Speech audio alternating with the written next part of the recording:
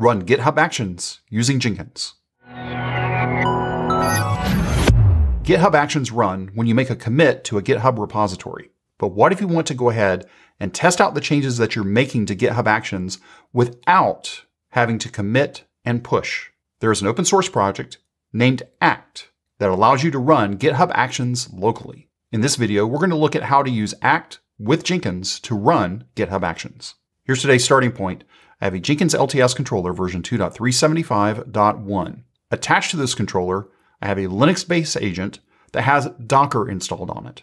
Now you might be asking, why is Docker installed? We'll get to that in just a few moments. And finally, there's also a sample repository for this video.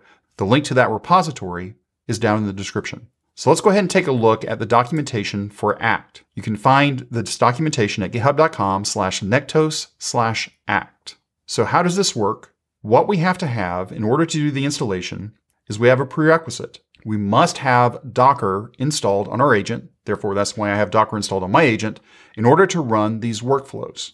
Now, currently, I'm running a Linux-based agent, so I just installed Docker on that agent. I've also installed the Act CLI on that agent as well. Now, there's one other thing that happens when you run Act for the very first time on a machine. If you scroll down to the section that's called First Act Run, it says when running Act for the first time, it will ask you to choose an image to be used as the default. There's no way to set this up programmatically. You must run this manually.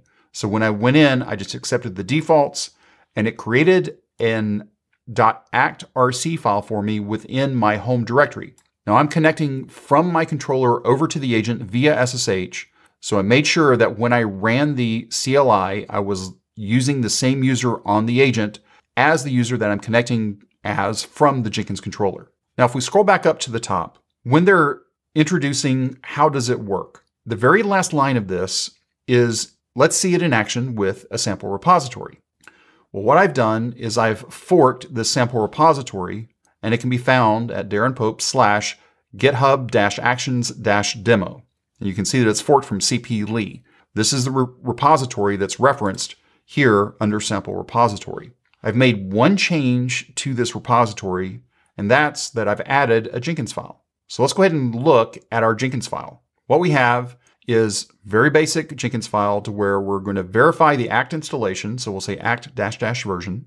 We're going to run the entire pipeline. So in order to do that, there's nothing fancy about it. It's just executing the act command. We can see this by going back over to the documentation for act. And when we take a look at the example commands, what we're going to see here is if we run act, if no event name is passed, it's going to default to on push.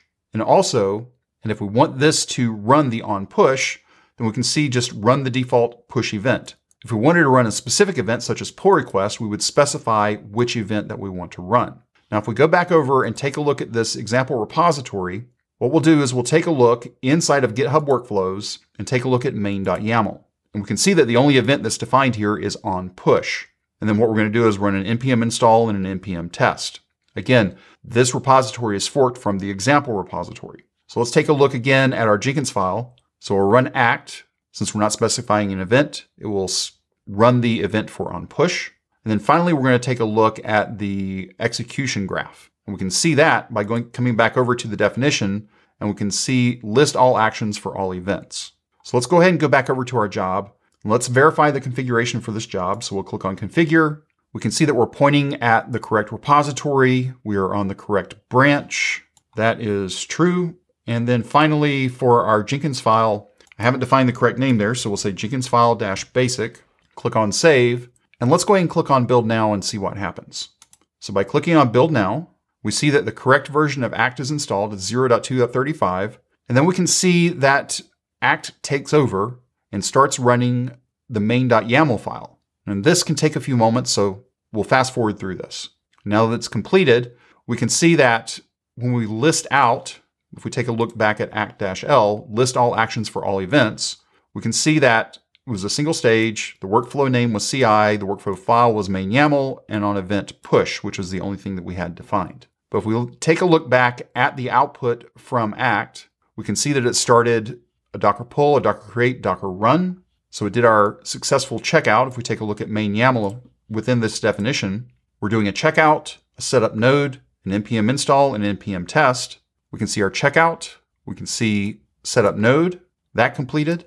We can see that we successfully ran npm install. And finally, we can see that we successfully ran npm test. If you have any questions or comments, you can reach out to us on Twitter at CloudBees.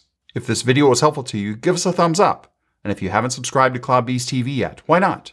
Take a moment, click on the subscribe button, and then ring that bell, and you'll be notified anytime there's new content available on CloudBees TV. Thanks for watching, and we will see you in the next video.